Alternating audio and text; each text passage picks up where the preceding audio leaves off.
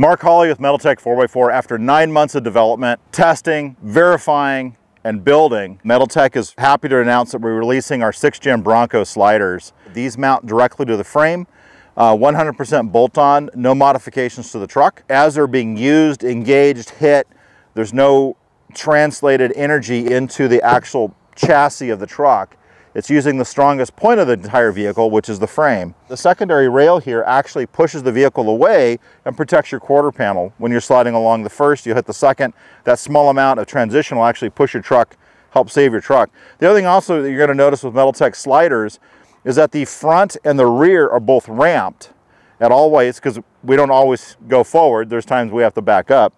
And then of course the kick out itself is ramped as well. It's not, there's nothing blunt. There's no blunt surfaces or points at all. Everything is ramped because it's meant for direction of travel forward or direction of travel back.